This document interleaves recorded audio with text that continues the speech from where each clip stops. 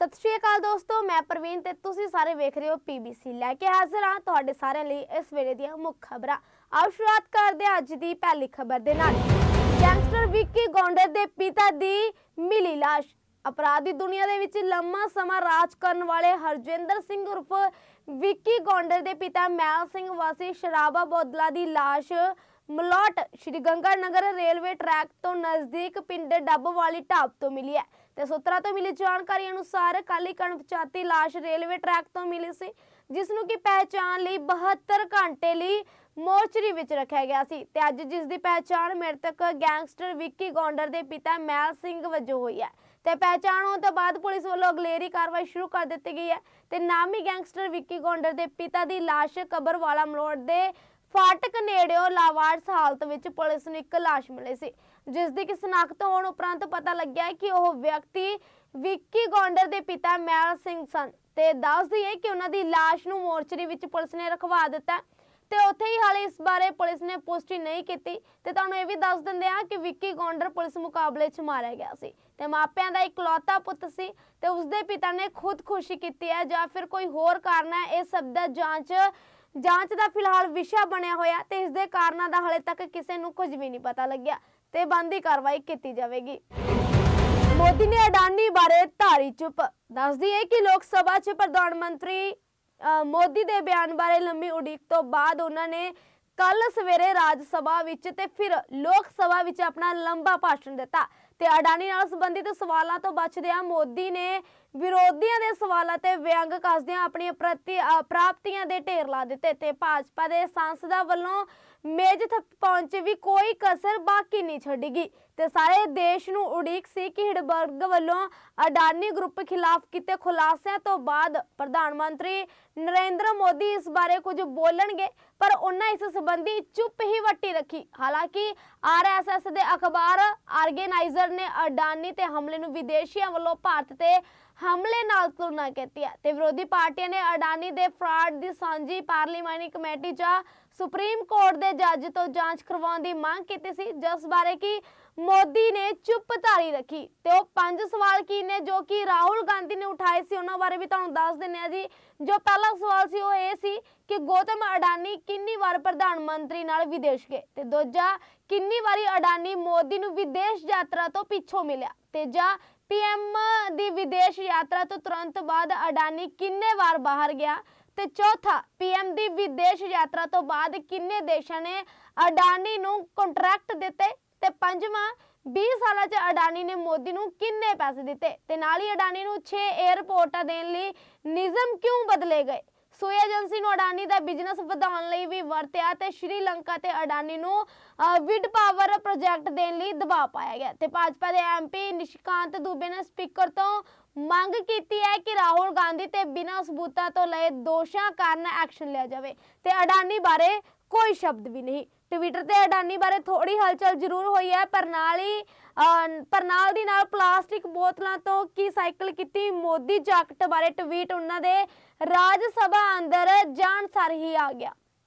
ਪ੍ਰਧਾਨ ਮੰਤਰੀ ਨੇ 4 ਘੰਟੇ ਬਾਅਦ ਲੋਕ ਸਭਾ 'ਚ ਕਿਸੇ ਸਵਾਲ ਦਾ ਜਵਾਬ ਤਾਂ ਨਹੀਂ ਦਿੱਤਾ ਪਰ ਵਿਰੋਧੀਆਂ ਨੂੰ ਮੱਤਾਂ ਜ਼ਰੂਰ ਦਿੱਤੀਆਂ ਨੇ ਤੇ ਕਾਂਗਰਸ ਦੇ 10 ਸਾਲਾਂ ਨੂੰ ਗੁਆਚਿਆ ਦਸਕ ਕਿਹਾ ਆਪਣੀ ਸਰਕਾਰ ਦੀਆਂ ਅ, ਸਿਫਤਾਂ ਅਤਵਾਦ ਖਿਲਾਫ ਸਖਤ ਕਾਰਵਾਈ ਸਪੈਸ਼ਲ ਸਟੇਟਸ ਦੇਣ ਬਾਅਦ ਕਸ਼ਮੀਰ 'ਚ ਸ਼ਾਂਤੀ ਮੁਫਤ ਗੈਸ ਸਿਲੰਡਰ ਪਹੁੰਚ ਅਨੁਸਾਰ ਮਕਾਨ ਹੋਰ ਹਵਾਈ ਅੱਡੇ ਬੁਨਿਆਦੀ ਢਾਂਚਾ ਕੁੜੀਆਂ ਲਈ ਸਿੱਖਿਆ ਤੇ ਹੋਰ ਵੀ ਬਹੁਤ ਕੁਝ। ਲੋਕਲ ਤੋਂ ਗਲੋਬਲ ਤੇ ਵੀ ਬੋਲੇ ਰਾਸ਼ਟਰਪਤੀ ਮੁਰਮੂ ਦੇ ਬਿਆਨ ਤੇ। ਭਾਰਤ ਦੁਨੀਆ ਦੀਆਂ ਸਮੱਸਿਆਵਾਂ ਹੱਲ ਕਰਨ ਵਾਲਾ ਦੇਸ਼ ਬਣ ਚੁੱਕਾ ਹੈ। ਇਹ ਵੀ ਕਿਹਾ ਗਿਆ। ਮੋਦੀ ਨੇ ਕਿਹਾ, ਇਹ ਕਹਿ ਕੇ ਹਮ ਦਿਲ ਕੋ ਬਹਿਲਾ ਰਹੇ ਹੈ। ਉਹ ਅਬ ਚੱਲ ਚੁਕੇ ਹੈ ਉਹ ਅਬ ਆ ਰਹੇ ਹੈ।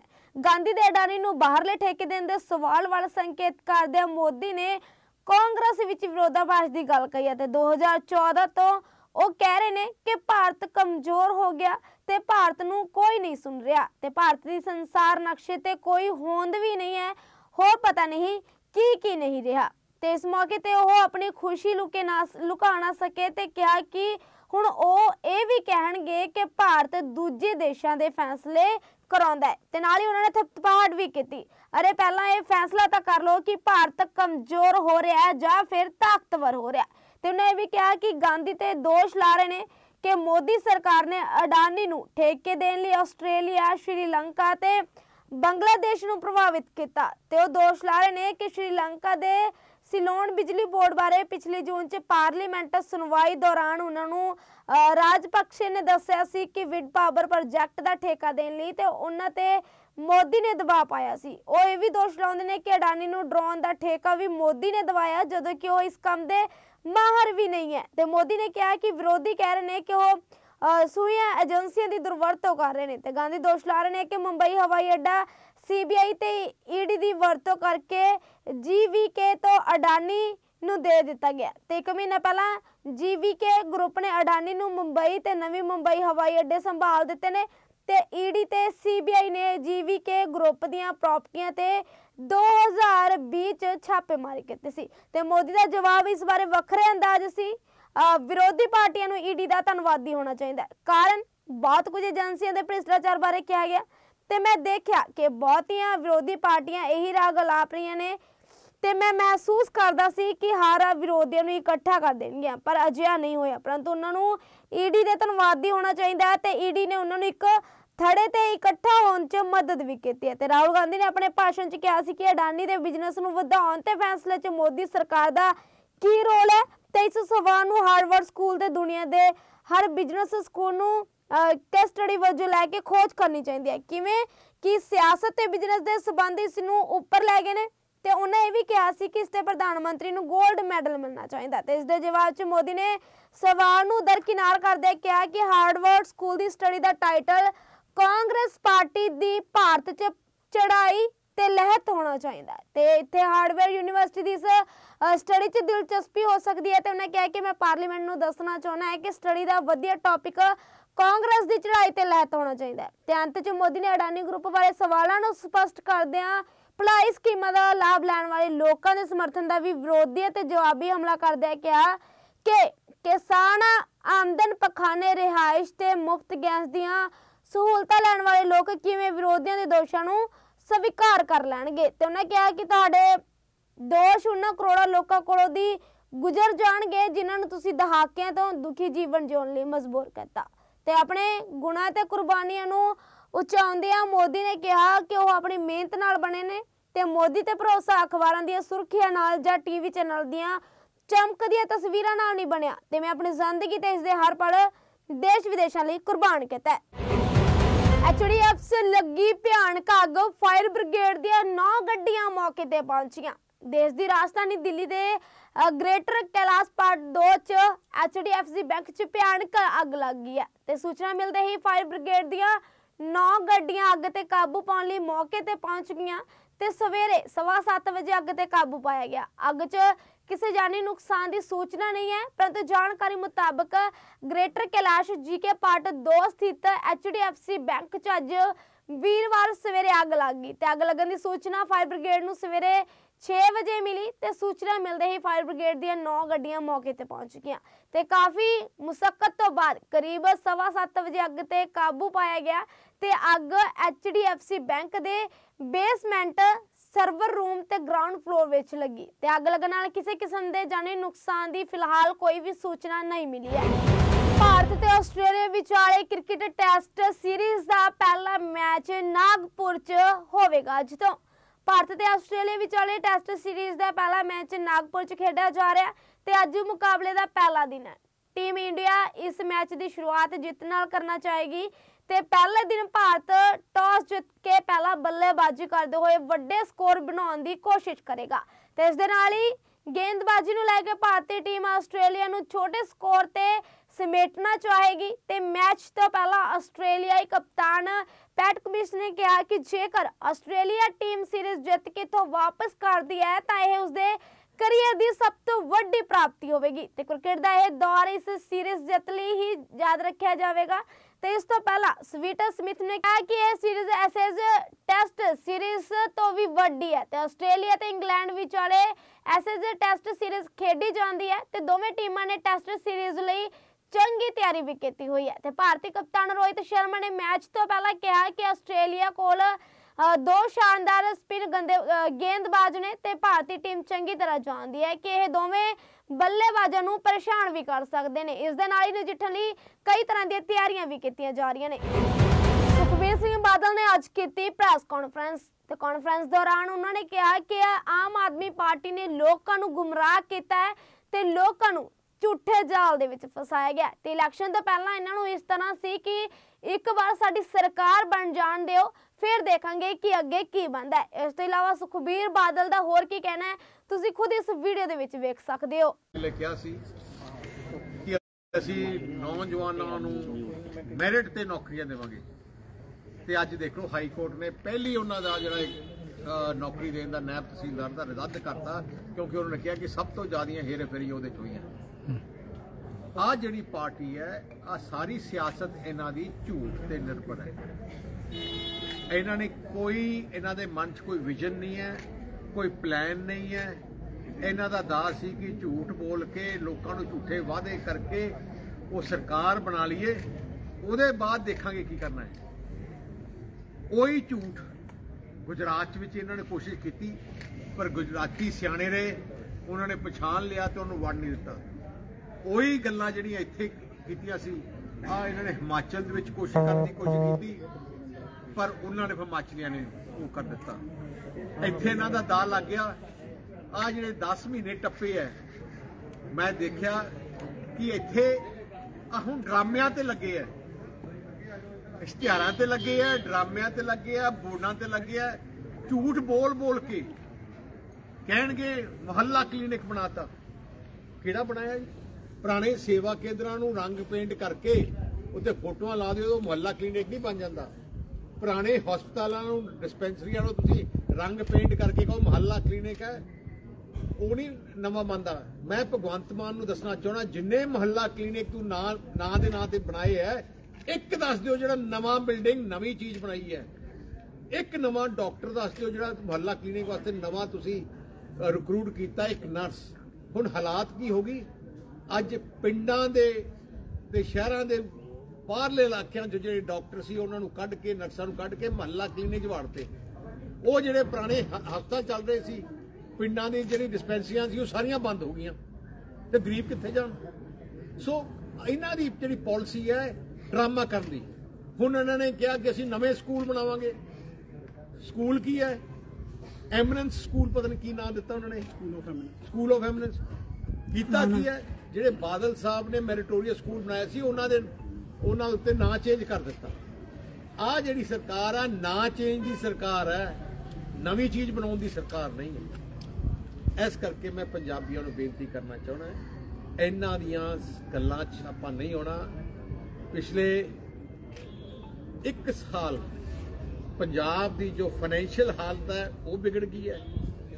40000 ਕਰੋੜ ਰੁਪਇਆ ਕਰਜ਼ਾ ਇਹਨਾਂ ਨੇ ਪਿਛਲੇ 10 ਮਹੀਨੇ 'ਚ ਲੈ ਲਿਆ।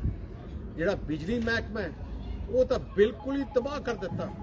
ਮੈਨੂੰ ਤਾਂ ਡਰ ਹੈ ਕਿ ਅਗਲੀਆਂ ਕਾ ਜਿਹੜੀਆਂ ਗਰਮੀਆਂ ਟੱਪਣਗੀਆਂ ਕਿਵੇਂ? ਜਿਹੜੇ ਕਿਸਾਨਾਂ ਨੂੰ ਬੇਨਤੀ ਕਰਦਾ, ਤੁਹਾਨੂੰ 8 ਘੰਟੇ ਬਿਜਲੀ ਨਹੀਂ ਮਿਲਣੀ। ਕੋਈ ਇੰਤਜ਼ਾਮ ਪਹਿਲੇ ਹੀ ਕਰ ਲਓ।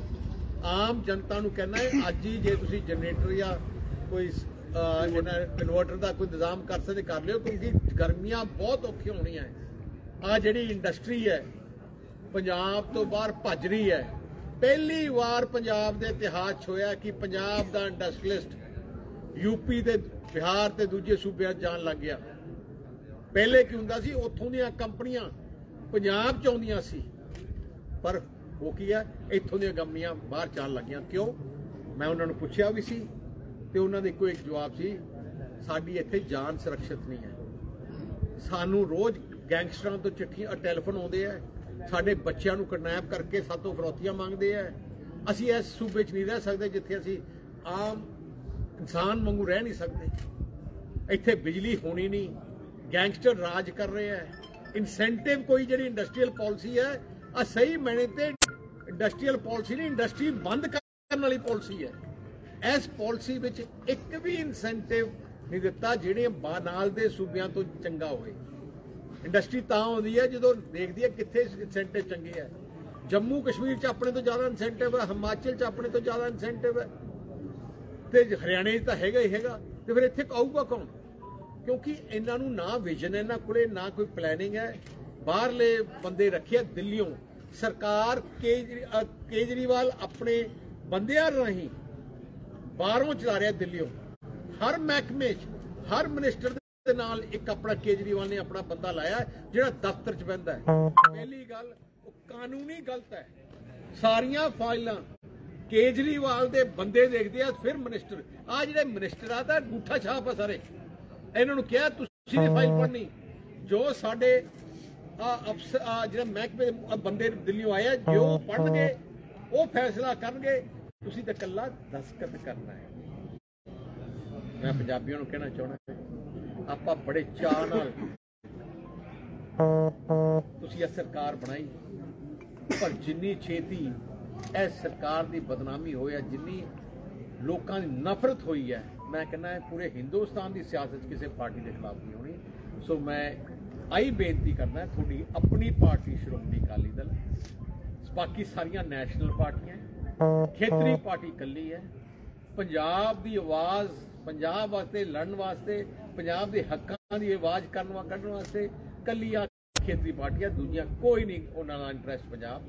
ਤੋਂ ਆਪਣੀ ਖੇਤਰੀ ਪਾਰਟੀ ਨੂੰ ਖੜਾ ਕਰੀਏ? ਸੁਖਬੀਰ ਜੀ ਇੱਕ ਪੁਰਾਣੀ ਤੁਹਾਡੀ ਪੰਜਾਬ ਪਾਰਟੀ ਹੈ, ਸਰਕਾਰ ਨੇ ਤੁਹਾਡੀ ਪਾਰਟੀ ਸੀ। 102 ਸਾਲ। 102 ਸਾਲ ਜੀ। ਤੇ ਸੰਗਰੂਰ ਜਿਹੜਾ ਜਿਮਨੀ ਇਲੈਕਸ਼ਨ ਹੋਇਆ ਜੀ ਉਹਦੇ ਵਿੱਚ ਤੁਹਾਡੀ ਪਾਰਟੀ ਚੌਥੇ ਨੰਬਰ ਤੇ ਆ ਗਈ ਜੀ ਬੀਜੇਪੀ ਦੇ ਪਿੱਛੇ ਆ ਗਈ ਜਦ ਕਿ ਉੱਥੋਂ ਤੁਹਾਡਾ ਰਿਪਰੈਜ਼ੈਂਟੇਸ਼ਨ ਮਿਲਦੀ ਰਹੀ ਮੈਂ ਅੱਜ ਉਹੀ ਕਹਿ ਰਿਹਾ ਹਾਰਾਂ ਹੋ ਹੋਣੀ ਹੈ ਜਿੱਤ ਹਾਰਾਂ ਦੇ ਕਰਕੇ ਪਾਰਟੀਆਂ ਨਹੀਂ ਖਤਮ ਹੋਣੀਆਂ। ਜਿੱਤ ਵੀ ਜਾਂਦੇ ਆ।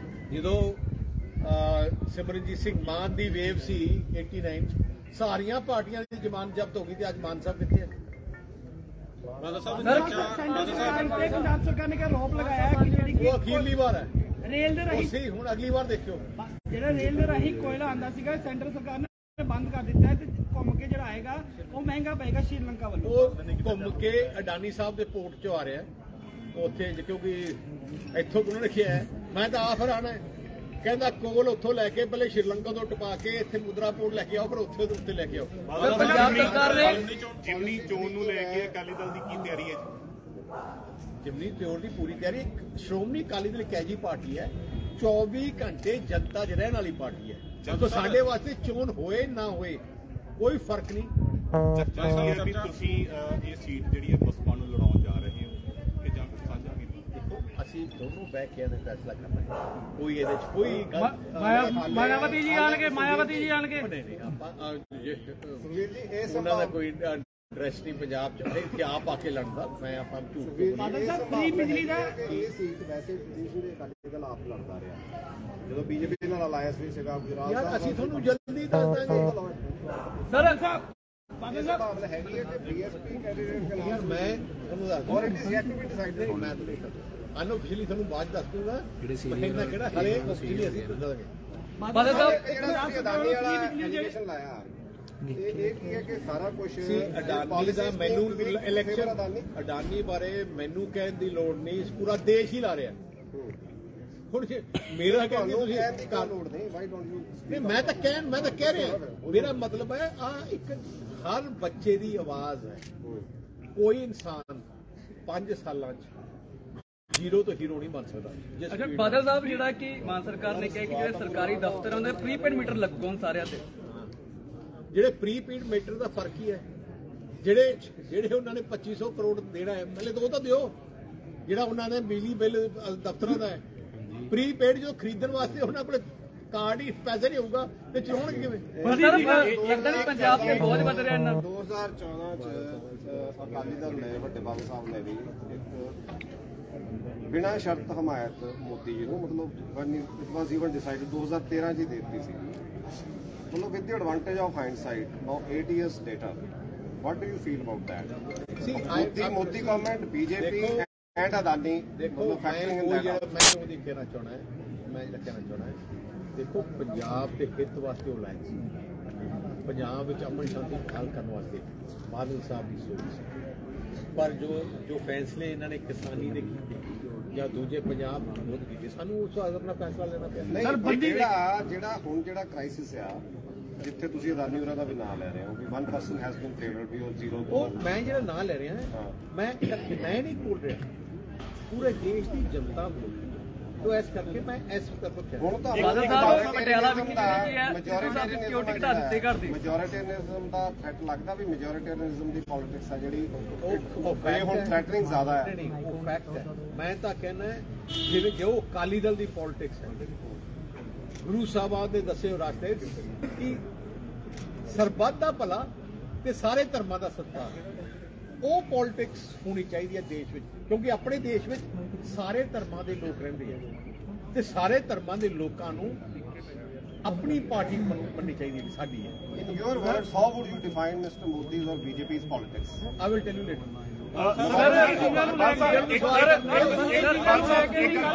ਕਿ ਜਿਹੜੀ ਜਿਮਨੀ ਚੋਣ ਹੈ ਤੁਸੀਂ ਤੇ ਬਸਪਾ ਇਕੱਠੇ ਰਲ ਲਿਓ ਕਿ ਜਾਂ ਇਹਦੇ ਨਾਲ ਕੋਈ ਹੋਰ ਵੀ ਰਲ ਕੇ ਸ਼੍ਰੋਮਣੀ ਅਕਾਲੀ ਦਲ ਬੀਐਸਪੀ ਦਾ ਅਲਾਈਅੰਸ ਹੈ ਅਸੀਂ ਇਕੱਠੇ ਲਾਣੇ ਆ ਅੱਗੇ ਦੇਖਦੇ ਆ ਗੱਲ ਚੱਲ ਰਹੀ ਹੈ ਦੇਖਦੇ ਆ ਕੌਣ ਕੌਣ BJP ਨਾਲ ਹੋ ਸਕਦਾ ਸਮਝੌਤਾ? ਦੇ ਖਿਲਾਫ ਜਿਹੜੇ BJP ਨਾਲ। ਬਿੱਲ ਕੀਤੇ ਆ, 24 ਤੱਕ। ਕਿਸਾਨੀ ਦੇ ਖਿਲਾਫ ਜਿਹੜੇ ਬਿੱਲ ਲੈ ਕੇ 24 ਆਈ ਹੈ ਤੱਕ- ਮੋਦੀ ਸਰਕਾਰ 24 ਤੱਕ support ਦੱਸ ਦਿਓ। ਤੁਸੀਂ ਕਿਹਾ ਜੀ ਮੋਦੀ ਸਰਕਾਰ ਤੋਂ ਹੀ ਸਪੋਰਟ ਤਾਂ ਵਾਪਸ ਕੀਤੀ ਹੈ ਮੋਦੀ ਸਰਕਾਰ ਨੇ ਕਿਸਾਨੀ ਦੇ ਖਿਲਾਫ ਬਿੱਲ ਲੈ ਕੇ ਆਂਦੇ ਉਹ ਬਿੱਲ ਦੇ ਉੱਤੇ ਤੁਹਾਡੇ ਵੀ ਸਾਈਨ ਸੀਗੇ। ਤੁਹਾਡੇ ਪਹਿਲੀ ਗੱਲ ਮੈਂ ਕੈਬਨਿਟ ਤੁਸੀਂ ਮਿਨਿਸਟਰ ਉਹ ਸਹਿਮਤੀ ਸੀਗੀ ਸਭ ਕੁਝ ਮੈਂ ਸੀਗਾ। ਤੁਸੀਂ ਸੇਠ ਸਾਹਿਬ ਇੱਕ ਦੱਸਾਂ। ਜੀ। ਪਹਿਲੇ ਜਦੋਂ ਤੁਸੀਂ ਤੁਸੀਂ ਕਿ- ਕਿੰਨੇ ਸਾਲ ਹੋ ਗਏ ਮੀਡੀਆ 'ਚ ਜਿੰਨੀ ਤੁਹਾਡਾ ਜਿੰਨਾ ਤੁਹਾਡਾ ਜਿੰਨਾ ਮੇਰਾ ਜਿੰਨਾ experience ਰਾਜ ਹੈ। ਐਕਸਪੀਰੀਅੰਸ ਨੂੰ ਜ਼ਿਆਦਾ ਮੇਰਾ ਐਕਸਪੀਰੀਅੰਸ ਹੈ। ਜੀ। ਜੇ ਤੁਸੀਂ ਐਕਸਪੀਰੀਅੰਸ ਕਰਨਾ ਹੈ ਮੈਨੂੰ ਇੱਕ ਕਾਗਜ਼ ਦੱਸ ਦਿਓ ਜਿੱਥੇ ਸਾਈਨ ਹੈ। ਇੱਕ ਕਾਗਜ਼ ਦੱਸ ਦਿਓ ਜਿੱਥੇ ਸਾਈਨ ਹੈ। ਕੈਬਨਿਟ ਮੀਟਿੰਗ ਕੈਬਨਿਟ ਮੀਟਿੰਗ ਦੇ ਵਿੱਚ ਸ਼ਾਮਲ ਕੈਬਨਿਟ ਸੀਗੇ? ਨਹੀਂ ਕੈਬਨਿਟ ਮੀਟਿੰਗ ਸਿਮਰਤ ਨੇ ਪ੍ਰੋਟੈਸਟ ਕੀਤਾ ਸੀ। ਕੋਈ ਹੁਣ ਕਰਨਾ ਅਸੀਂ ਪਹਿਲੇ ਦਿਨ ਵੀ ਕਿਹਾ ਸੀ। ਇਹ ਰਿਕਾਰਡ ਹੈ ਜੀ। ਮੈਂ ਔਨ ਰਿਕਾਰਡ ਕਹਿ ਰਿਹਾ। Proceeding 'ਚ ਆਇਆ ਜੀ। ਇਹ। ਪ੍ਰੋਸੀਡਿੰਗ ਤੁਸੀਂ ਦੇਖ ਲਓ ਮੈਂ ਤੁਹਾਨੂੰ ਅੱਜ ਦੱਸਦਾ। ਹਾਂ ਉਹਨਾਂ ਨੇ ਕਿਹਾ ਸੀ ਤੇ ਮੋਦੀ ਸਾਹਿਬ ਨੇ ਉੱਥੇ ਐਲਾਨ ਕੀ- ਕਿਹਾ ਸੀ। ਕਿ ਅਸੀਂ ਆਹ ਕੱਲਾ ਕੈਬਨਿਟ ਡਿਸੀਜਨ ਹੈ ਅਸਲੀ ਐਕਟ ਬਣਦਾ ਹੈ ਪਾਰਲੀਮੈਂਟ ਤੇ ਪਾਰਲੀਮੈਂਟ ਤੋਂ ਪਹਿਲੇ ਅਸੀਂ ਜੋ ਉਹਨਾਂ ਦੀ ਇਸ਼ੂਜ਼ ਹੈ ਤੁਹਾਡੀਆਂ ਅਸੀਂ ਰਿਜ਼ੋਲਵ ਕਰਾਂਗੇ ਜੇ ਨਹੀਂ ਅਲਾਈਅੰਸ ਅਲਾਈਅੰਸ ਬਾਦਲ ਟੁੱਟਾ ਸਾਹਿਬ, ਸੀਗਾ ਬਾਦਲ ਕਿਸਾਨੀ- ਦੇ ਕਰਕੇ ਹੀ ਅਲਾਈਅੰਸ ਟੁੱਟਾ ਸੀਗਾ ਪਰ ਉਹ ਕਿਸਾਨੀ ਜਿਹੜੇ ਸੀਗੇ ਉਹ ਵਾਪਸ ਹੋ ਗਏ ਕਾਨੂੰਨ ਹੁਣ 24 ਤੱਕ ਸੰਭਾਵਨਾ ਹੈ ਕਿ ਹੋ ਸਕਦਾ ਮੈਂ ਹੈ ਮੈਂ ਜਿਹੜਾ ਕਹਿੰਦਾ ਸਾਡਾ ਅਲਾਈਅੰਸ ਸ਼੍ਰੋਮਣੀ ਅਕਾਲੀ ਦਲ ਬੀਐਸਪੀ ਦਾ ਅਲਾਈਅੰਸ ਹੈ। ਤੇ ਰਹੇਗਾ। 24 ਬਾਦਲ ਸਾਹਿਬ ਗੱਲ ਤਾਂ ਇਹਨਾਂ ਨੂੰ ਲੈ ਕੇ ਠੀਕ ਹੈ ਜੀ ਬਾਦਲ ਸਾਹਿਬ ਜਿਹੜੇ ਪੰਜਾਬ ਸਰਕਾਰ ਨੇ ਕਿਹਾ ਕਿ ਆਈਐਸ ਆਫੀਸਰ ਹੈਗੇ ਆ ਸੈਂਟਰ ਡੈਪੂਟੇਸ਼ਨ ਚ ਜਿਹੜਾ ਕਿ ਜਾਣਾ ਚਾਹੁੰਦੇ ਹੈਗੇ ਆ ਤੇ ਤਿੰਨ ਜਾ ਵੀ ਚੁੱਕੇ ਹੈਗੇ। ਕੀ ਕਹਿਣਾ ਚਾਹੋਗੇ? ਜਿਸ ਤਰੀਕੇ ਨਾਲ ਜਾ ਰਹੇ ਆ ਨਾ ਮੈਨੂੰ ਲੱਗਦਾ ਇੱਥੇ ਵੀ ਅਫਸਰ ਰਹਿਣਾ ਨਹੀਂ। ਆਹ ਤਾਂ ਭਗਵੰਤ ਮਾਨ ਤੇ ਇਹਨਾਂ ਦੇ ਸਾਰੇ ਚੋਰ ਇੱਥੇ ਰਹਿ ਜਾਣਗੇ। ਤੇ ਅਫਸਰ ਸਾਰੇ ਉੱਥੇ ਚਲੇ ਜਾਣਗੇ ਸਰ ਇੱਕ ਤੁਸੀਂ ਦਾ ਮੁੱਦਾ ਵੀ ਚੱਕਿਆ ਸੀ 6 ਸਾਲ ਹੋ ਗਏ। ਕੱਲ ਤੁਸੀਂ ਇੱਕ ਫਲਾਈਓਵਰ ਦਾ ਮੁੱਦਾ ਵੀ ਚੱਕਿਆ ਹੈਗਾ 6 ਸਾਲ ਹੋ ਗਏ ਕਿੱਦਾਂ ਦੇਖਦੇ ਹੋ ਕਿ ਹਜੇ ਤੱਕ ਖਾਲੀ ਨਹੀਂ ਨਿਕਲਿਆ? ਤੁਸੀਂ ਇੱਕ ਗੱਲ ਦੱਸੋ ਜੇ ਜਿਹੜੀ ਚੀਜ਼ ਅਸੀਂ ਛੱਡ ਕੇ ਗਏ ਸੀ ਕੀ ਕੋਈ ਇੱਟ ਲੱਗੀ ਹੈ ਉਹਦੇ ਬਾਅਦ? ਮੈਂ ਜਲੰਧਰ ਵਾਲਿਆਂ ਨੂੰ ਪੁੱਛਣਾ ਚਾਹਣਾ ਜੋ ਡਿਵੈਲਪਮੈਂਟ ਤੁਸੀਂ ਮੀਡੀਆ ਵਾਲੇ ਹੋ ਤੁਸੀਂ ਸਾਰੇ ਸਮਝਦੇ ਹੋ ਜੋ ਡਿਵੈਲਪਮੈਂਟ ਜਲੰਧਰ ਸ਼੍ਰੋਮਣੀ ਅਕਾਲੀ ਦਲ ਦੀ ਸਰਕਾਰ ਤੇ ਹੋਈ ਹੈ ਉਹਦੇ ਬਾਅਦ ਕੋਈ ਹੋਈ ਹੈ? 5 ਸਾਲ। ਆ ਜਿਹੜਾ ਭਗਵੰਤ ਬੇਈਮਾਨ ਦੀ ਸਰਕਾਰ ਨੇ ਤਾਂ ਕੀਤਾ ਹੀ ਨਹੀਂ। ਸਰ ਪਟਿਆਲਾ ਵਿਖੇ ਸਿਕਿਉਰਿਟੀ ਵੀ ਘਟਾ ਦਿੱਤੀ ਗਈ ਸਿੱਧੂ ਸਾਹਿਬ ਦੇ ਘਰ ਤੁਸੀਂ ਤੁਸੀਂ ਹੁਣੀ ਸ਼ਾਹਕੋਟ ਚਲੇ ਜਾਓ। ਹੁਣੀ। ਦੇਖੋ ਆਮ ਆਦਮੀ ਪਾਰਟੀ ਦੀ ਐਮਐਲਏ ਕੀ ਕਰ ਰਹੀ ਹੈ। ਤੁਸੀਂ ਨਕੋਦਰ ਚਲੇ ਜਾਓ। ਉੱਥੇ ਆਮ ਆਦਮੀ ਪਾਰਟੀ ਕੀ ਕਰ ਰਹੀ ਹੈ? ਉਹਦਾ ਮਿਲਾ ਮਾਫੀਆ ਦਾ ਅਹ, ਸਭ ਤੋਂ ਟੌਪ ਹੈ। ਜਿਮਨੀ ਚੋਣ ਨੂੰ ਲੈ ਕੇ ਇੱਕ ਇਹ ਵੀ ਚਰਚਾ ਹੁੰਦੀ ਸੀਗੀ ਕਿ ਤੁਹਾਡੇ ਦੁਆਬੇ ਦੇ ਲੀਡਰਾਂ ਤੱਕ ਦੂਜੀਆਂ ਪਾਰਟੀਆਂ ਦੇ ਵੱਲੋਂ ਪਹੁੰਚ ਕੀਤੀ ਜਾ ਰਹੀ ਜਿਮਨੀ ਚੋਣ ਨੂੰ ਲੈ ਕੇ ਕੀ ਇਹ ਸੱਚਾਈ ਹੈ? ਸ਼੍ਰੋਮਣੀ ਅਕਾਲੀ ਦਲ ਇਕੱਠਾ ਤੋ ਇਸ ਕਰਕੇ ਚਰਚਾ ਤੁਸੀਂ ਬੰਦ ਕਰਾ ਦਿਓ। ਬਾਕੀ ਦੇ ਬਾਦਲ ਸਾਹਿਬ ਆਖਰੀ ਸਵਾਲ ਹੈ. ਬਾਦਲ ਸਾਹਿਬ you, ਸਵਾਲ ਹੈ. ਪਟਿਆਲੇ ਵਿੱਚ ਹੁਣ ਸਿਕਿਉਰਿਟੀ ਘਟਾ ਦਿੱਤੀ ਗਈ ਹੈ। ਬਾਦਲ ਸਾਹਿਬ। ਮੈਂ ਤਾਂ ਉਹੀ ਕਹਿਣਾ ਤੁਸੀਂ ਆਪਣੇ ਜਨਰੇਟਰ ਦੇ ਇਨਵਰਟਰ ਲੈ ਲਓ। ਆਹ ਹਾਲਾਤ ਹੈ। ਬਾਦਲ ਸਾਹਿਬ ਆਖਰੀ ਸਵਾਲ ਹੈ ਇੱਕ ਪਟਿਆਲਾ ਵਿਖੇ ਜਿਹੜੀ ਸਿੱਧੂ ਸਾਹਿਬ ਨੇ ਸਿਕਿਉਰਿਟੀ ਘਟਾਈ ਹੈ। ਇਸ ਵਾਸਤੇ ਮੈਂ ਯਾਰ ਬੇਨਤੀ ਹੈ ਬੇਨਤੀ ਹੈ ਕਿ ਹੁਣ ਫੰਕਸ਼ਨ ਹੈ। ਕਿ ਹੁਣ ਫੰਕਸ਼ਨ ਚੰਡੀਗੜ੍ਹ ਪੁਲਿਸ ਨੇ ਕੌਮੀ ਇਨਸਾਫ ਮੋਰਚੇ ਤੇ ਸੱਤ ਆਗੂਆਂ ਖਿਲਾਫ ਕੀਤਾ ਕੇਸ ਦਰਜ। ਬੀਤੇ ਦਿਨੀ ਚੰਡੀਗੜ੍ਹ ਪੁਲਿਸ ਨਾਲ ਕੌਮੀ ਇਨਸਾਫ ਮੋਰਚੇ ਦੀ ਹੋਈ ਝੜਪ ਤੋਂ ਬਾਅਦ ਹੁਣ ਚੰਡੀਗੜ੍ਹ ਪੁਲਿਸ ਨੇ ਐਫ ਆਈ ਆਰ ਦਰਜ ਕੀਤੀ ਹੈ ਤੇ ਚੰਡੀਗੜ੍ਹ ਦੇ ਥਾਣਾ 39 ਵਿੱਚ ਪੁਲਿਸ ਵੱਲੋਂ ਮਾਮਲਾ ਦਰਜ ਕੀਤਾ ਗਿਆ ਹੈ। ਚੰਡੀਗੜ੍ਹ ਪੁਲਿਸ ਵੱਲੋਂ ਇਰਾਦਾ ਕਤਲ 307 ਦੀਆਂ ਧਾਰਾ ਸਮੇਤ ਵੱਖ-ਵੱਖ ਧਾਰਾਵਾਂ ਤਹਿਤ ਮਾਮਲਾ ਦਰਜ ਕੀਤਾ ਗਿਆ ਤੇ ਪੁਲਿਸ ਵੱਲੋਂ ਜਗਤਾਰ ਸਿੰਘ ਦੇ ਪਿਤਾ ਗੁਰਚਰਨ ਸਿੰਘ ਸਮੇਤ ਹੋਰ ਕਈ ਆਗੂਆਂ ਦੇ ਨਾਮ ਵੀ ਦਰਜ ਕੀਤੇ ਗਏ ਨੇ ਤੇ ਜ਼ਿਕਰਯੋਗ ਹੈ ਕਿ ਬੀਤੇ ਕੱਲ ਕੌਮੀ ਇਨਸਾਫ ਮੋਰਚੇ ਦਾ ਜੱਥਾ ਮੁੱਖ ਮੰਤਰੀ ਦੀ ਰਿਹਾਇਸ਼ ਵੱਲ ਕੂਚ ਕੀਤਾ ਜਾ ਰਿਹਾ ਸੀ ਤੇ ਇਸੇ ਦੌਰਾਨ ਪੁਲਿਸ ਨਾਲ ਝੜਪ ਹੋ ਗਈ ਪੁਲਿਸ ਦੀ ਝੜਪ ਦੌਰਾਨ ਕਈ ਪੁਲਿਸ ਮੁਲਾਜ਼ਮਾਂ ਤੇ ਪ੍ਰਦਰਸ਼ਨਕਾਰੀਆਂ ਦੇ ਸੱਟਾਂ ਵੀ ਲੱਗੀਆਂ ਤੇ ਇਸੇ ਦੌਰਾਨ ਪੁਲਿਸ ਗੱਡੀਆਂ ਨੂੰ ਵੀ ਨੁਕਸਾਨ ਪਹੁੰਚਿਆ ਇਸੇ ਤਰ੍ਹਾਂ ਹੀ ਮੋਹਾਲੀ ਪੁਲਿਸ ਦੇ ਮਟੌਰ ਥਾਣੇ ਵਿੱਚ ਵੀ ਮਾਮਲਾ ਦਰਜ ਕੀਤਾ ਗਿਆ। ਦੂਜੇ ਪਾਸੇ ਕੌਮੀ ਇਨਸਾਫ ਮੋਰਚੇ ਵੱਲੋਂ ਅੱਜ ਇੱਕ ਹੋਰ ਜਥਾ ਭੇਜਣ ਦਾ ਐਲਾਨ ਕੀਤਾ ਗਿਆ ਹੈ, ਜਿਸ ਨੂੰ ਕਿ ਲੈ ਕੇ ਪੁਲਿਸ ਪ੍ਰਸ਼ਾਸਨ ਵੱਲੋਂ ਵੀ ਵੱਡੀ ਪੱਧਰ ਤੇ ਅੱਜ ਪੁਲਿਸ ਲਗਾਈ ਗਈ ਹੈ। ਜ਼ਿਕਰਯੋਗ ਹੈ ਕਿ ਕੌਮੀ ਇਨਸਾਫ ਮੋਰਚਾ ਪਿਛਲੇ 1 ਮਹੀਨੇ ਤੋਂ ਚੰਡੀਗੜ੍ਹ ਮੋਹਾਲੀ ਬਾਰਡਰ ਉੱਤੇ ਬੰਦੀ ਸਿੰਘਾਂ ਦੀ ਰਿਹਾਈ ਨੂੰ ਲੈ ਕੇ ਸੰਘਰਸ਼ ਕਰ ਰਿਹਾ ਹੈ ਤੇ ਪਿਛਲੇ ਕਈ ਦਿਨਾਂ ਤੋਂ ਕੌਮੀ ਇਨਸਾਫ ਮੋਰਚੇ ਵੱਲ ਆਪਣਾ ਜਥਾ ਚੰਡੀਗੜ੍ਹ ਵੀ ਭੇਜ ਰਿਹਾ ਸੀ। ਸੋ ਇਹ ਸੀ ਅੱਜ ਵੇਲੇ ਦੀਆਂ ਮੁੱਖ ਖਬਰਾਂ। ਇਸੇ ਤਰ੍ਹਾਂ ਤੁਸੀਂ ਸਾਡੇ ਨਾਲ ਬਣੇ ਰਹੋ ਤੇ ਮੈਨੂੰ ਪ੍ਰਵੀਨ ਨੂੰ ਦੇ ਇਜਾਜ਼ਤ। ਬਹੁਤ ਬਹੁਤ ਧੰਨਵਾਦ। ਸਤਿ ਸ਼੍ਰੀ ਅਕਾਲ।